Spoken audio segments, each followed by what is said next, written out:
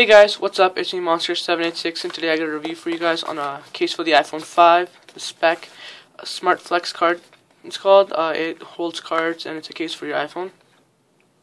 So it's like a wallet alternative for, yeah, the iPhone 5. And then the packaging, I really liked it. It's simple, it's like simplistic, just cardboard with that. It's really easy to open, you just pop it up right here and there's the case. And it doesn't come with a screen protector or anything. It's just that the case right here. And a little thing like instructions. And that's it. No screen protector nothing else. Here's some instructions or something like that. Warranty. So here's the case. It's got it can hold up to three cards in this little pouch thing right here. And I'll show you guys how that works. So let's just go do the overview of the case. It's got a little cut out for popping your cards out easily cut for putting cards in. It doesn't hold uh, business cards. As I tried a couple, it doesn't hold those. It holds, holds normal credit cards and stuff like that. And it's got like a big cutout, like a nice pill shaped cutout for the camera, which is perfect. It doesn't have any like flashback or anything like that. The bottom, you can see how it has the speaker grills, and it's got the cutout for the headphone jack and the new Thunder uh, Lightning cable. This side is fully nothing. You can't use or anything. Like I mean, just like it's fully closed up. The top is fully closed. This button right here. Uh, the only problem was I had a hard time pressing this button, and I don't know if it's my iPhone's like button is kind of wrecked. Like it takes a while. Like you gotta push it at the right moment. So I don't think it's a case's problem. I think it's just the iPhone. And then right here you got the cutout for the uh, silent switch, and you got the volume rockers.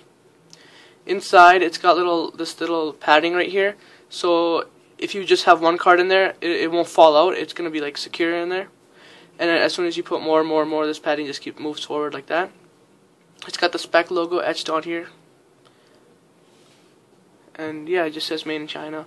And then it's got just like random grills. I don't know what those are for.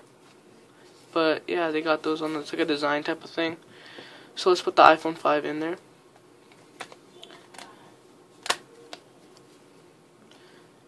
Okay, so well there it is. It's in there. It's got small, I guess, lay on the table design, not much. But like the whole screen is accessible. I I love that part. and yeah, everything else is good. There's the camera. It's got a nice cutout. You guys can check that out. So I'm just gonna take. I have three just random cards right here. I've got a Apple uh, Simply.ca, a uh, Staples, and a is 49. So we're just going to put one by one. See, this one won't fall out. You just have to push it out, like you have to actually, like, with your finger push it out. And if you put another one in. And the max capacity is 3. You can see I'm having, like, you have to push this one in. But yeah, it's fine. And then, I just, I don't know, I didn't like it because it's too bulky. It's not the type of case I would like. I'd, I'd prefer carrying a different wallet than this. But for people who don't like carrying wallets, this is a perfect case for you guys. You guys can just take the card out one by one. It's very simple to use. It's it's it's like this like the, it's it's pretty durable too. Like it feels like it's not gonna break or anything. But yeah, I some people would like it, some people won't. I'm on my side. I don't I didn't really like the bulkiness of the case.